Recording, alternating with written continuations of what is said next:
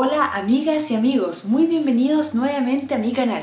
Hoy día, antes de entrenar, les voy a contar cómo usar su trotadora con Swift. No es nada de otro mundo, no necesitan una trotadora Smart, nada de eso. Así que si quieren conocer cómo usar Swift solamente con lo básico en su trotadora, quédense hasta el final. Y no olviden, por favor, suscribirse, regalarme un like y apoyarme con un comentario. Así que, vamos allá.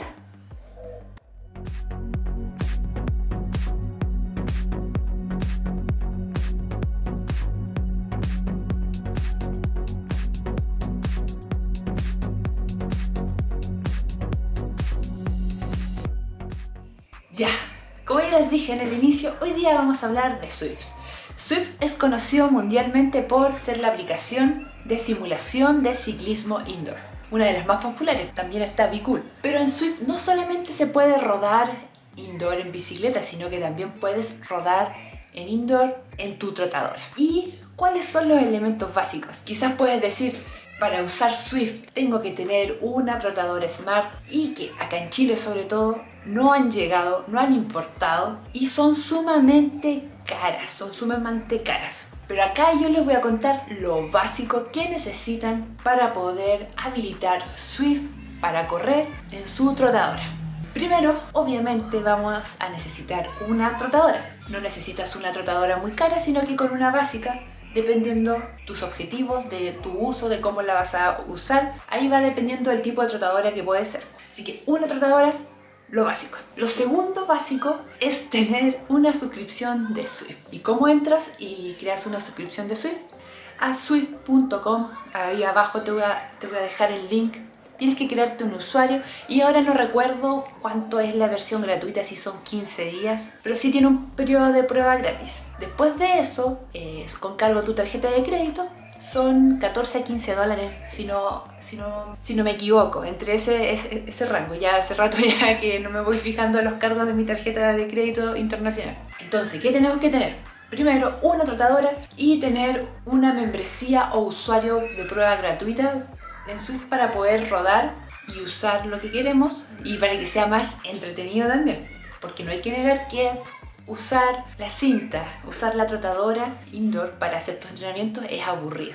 Y con Swift, ¿qué vamos a lograr? Es hacerlo un poco más entretenido porque es una red social donde puedes conocer a otras personas. Tiene tipo de entrenamientos eh, especializados donde puedes correr con otras personas de todo el mundo. Guatopía, que es un mundo de fantasía creado por ellos. Y también lugares como Nueva York, Londres, París y distintos lugares del mundo que ellos van habilitando. Ya, y acá ya vamos a los accesorios ya que tenemos que tener y adquirir para poder hacer funcionar Swift trotando para correr. Primero, ¿qué necesita Swift para...?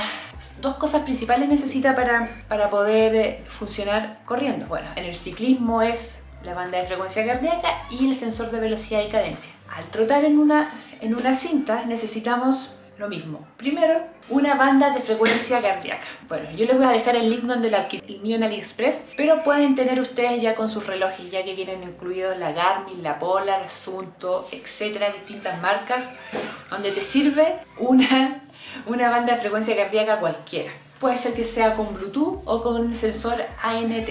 Perdonen mis vecinos, son muchos niños jugando hasta ahora, entonces no puedo omitir sus su gritos de, de juego de, de ahí de niños. Pero continuando, la banda de frecuencia cardíaca. Esta es la que yo tengo especialmente, tiene, se conecta a través de Bluetooth y a través del sensor ANT. Ahí a veces va itinerando su conexión, pero ahí les recomendaría que una de, de, marca yo creo que va a ser más fiable porque esta a mí a veces se me desconecta, tanto cuando hago ciclismo como cuando corro. Más de en China, entonces lo barato a veces no funciona tan bien. Este es el primero, ya tenemos tres tres elementos básicos para poder usar Swift corriendo, que es la trotadora, una suscripción a Swift y una banda de frecuencia cardíaca. El segundo accesorio que necesitaremos para hacer funcionar Swift con nuestra trotadora es un podómetro. ¿Y para qué Swift necesita esto?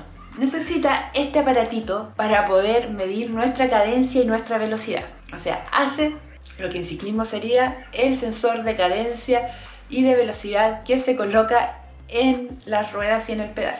Este sensor en particular, bueno, los sensores podómetros están súper escasos acá en Chile. Yo adquirí el Polar porque tengo reloj polar, entonces quería algo compatible. Lo tuve que mandar a pedir a Estados Unidos por Amazon. Me salió alrededor de 100 mil pesos con impuestos aduaneros, incluido más envío todo. Y el Garmin, que es el otro popular, está disponible en Chile y alrededor de 40 mil pesos o menos. Usado lo puedes encontrar mucho más barato, pero sensores podómetros para poder usarlo junto con la trotadora hay muy poco en Chile y lo que yo pude averiguar y buscar mientras buscaba este sensor para poder usarlo con la trotadora fue casi todo estaba en Estados Unidos en Amazon. En AliExpress es muy poco fiable comprarlo. Así que si quieres hacer el salto de, ya no usar la trotadora simplemente con tu reloj y quieres adquirir un podómetro, ve a la segura y cómpralo en Amazon. Yo de todas formas igual les voy a dejar los links de todos los podómetros que encontré en Amazon para que sigan ahí y, den el link y si quieren adquirirlo lo compren. Y hay que aprovechar también que ahora el envío a Chile es gratis por Amazon, entonces es muy bueno. Yo la otra vez compré y compré esto me llegó en una semana. En una semana, o sea, no hay que esperar los dos meses del AliExpress o más de un mes, tres meses a que te llegue. Y, o que no te llegue porque AliExpress tampoco es fiable. Entonces Amazon me sorprendió una semana en llegar este, este sensor. Y eso es lo que necesitamos para poder hacer funcionar Swift en nuestra trotadora hay además un dispositivo que sea tu celular, tu, computador o tu tablet. Yo en mi caso lo uso con mi celular porque he comprobado que tengo mejor conexión. Si lo vas a usar con tu computador, trata de tener un receptor de ANT en, tu, en un puerto USB. Bueno, pueden ir al video de Swift de, de, ciclismo, que se lo voy a dejar también en la descripción y ahí explico todo del cómo usarlo en el computador. Y eso, vamos a ver cómo funciona en el celular cómo se conectan los dispositivos. Es súper fácil, pero nunca está de más saberlo. Alguien por ahí puede tener alguna duda conectando sus dispositivos. Vamos allá. Y acá ya tengo abierta la aplicación de Swift y vamos a darle acá a lo naranjito al play. Ya tengo puestos los, los sensores. Se está demorando un poquito en entrar. Ya, acá justo está cargado en correr. Ya, me dice enseguida los dispositivos a los que quiero vincular. Me dice velocidad de carrera o frecuencia cardíaca. Ya, vamos a empezar con la... Y acá enseguida me identificó el... Acá quiero... Siempre el Bluetooth es más fiable que el otro. Ya me había reconocido el podómetro. Polar Run, ya, Bluetooth, aceptar.